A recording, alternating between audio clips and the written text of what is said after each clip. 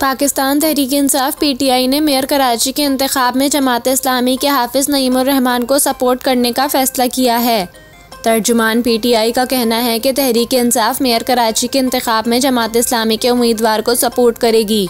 तर्जुमान का कहना है कि पीपल्स पार्टी मेयर कराची के इंतबी अमल में प्री पोल रैगिंग कर रही है। मुंतब बल्दियाती नुमाइंदगान को सिंध पुलिस के ज़रिए अगवा कराया जा रहा है। तर्जुमान के मुताबिक पीपल्स पार्टी चार बार बल्दियाती इंतखाब से पीछे भागी। अब उजलत में मेयर का इंतखब कराना चाहती है। बल्दियाती नुमाइंदगान की हल्फ बर्दारी से पहले इनको अगवा किया जा रहा है। पीटीआई इस मामले पर अदालत से भी रुजू कर चुकी है। तर्जुमान तहरीक इंसाफ का कहना है कि मेयर का इंतखब शफाफ तरीके से होना चाहिए। पीपल्स पार्टी और एम क्यू एम नहीं चाहती कि अवामी मैंडेट कबूल किया जाए।